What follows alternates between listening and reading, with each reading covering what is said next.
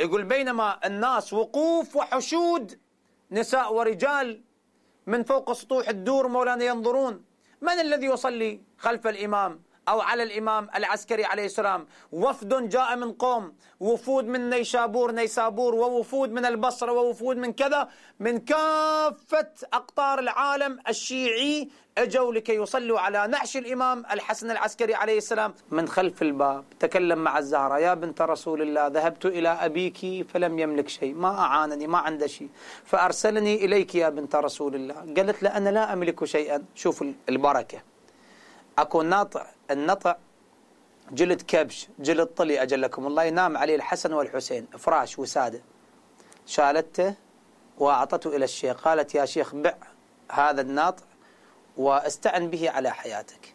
قال يا بنت رسول الله هذا النطع لا يسقيني ولا يطعمني. فعندها قلادة أهدتها فاطمة بنت حمزة سيد الشهداء أهدتها للزهراء شالت القلادة أعطتها إلى الشيخ. بدأ معاوية قال خير البرية بعد أحمد حيدر.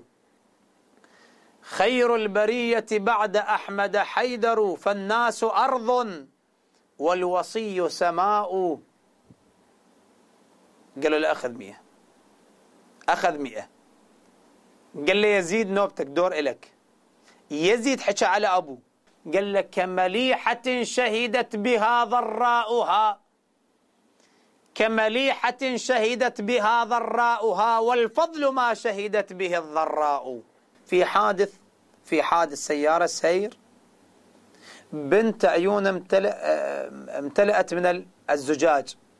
خلص وداها إلى الطبيب في بغداد. الطبيب قال عيونها خلص هذه الشبك متحطمة يعني ما بها يعني فت فائدة. راح تعمى البنت العيون.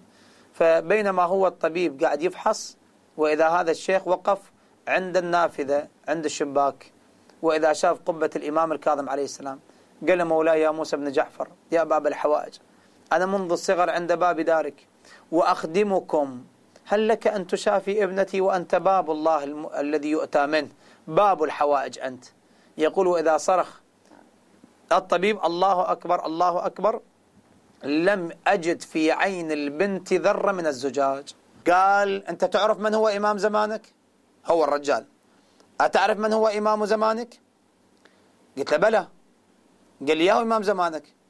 هاي صارت وإيه مولانا في شهر رمضان. يوم ثالث رابع شهر رمضان. قلت له إمام زماني الإمام الحجة بن الحسن العسكري الإمام المهدي. قال لي لا. لا بهاي بهاي بهيك برهدنا مولاي. لا هذا مو إمام زمانك. قلت له إذا من هو إمام زماني؟ قال لي أنا إمام زمانك. عجيب أنت إمام زماني؟ قال لي بلى. قلت لي يمتى ظهرت من من السعودية شلون حضرت حصلت تذكرة شلون اجيت؟ شلون تركوك الوهابية؟ يمتى وصلت إلى إيران فسألت عدة أسئلة. قال نعم أنا إمام زمانك وأنا راح أثبت لك أني أنا الإمام الحجة.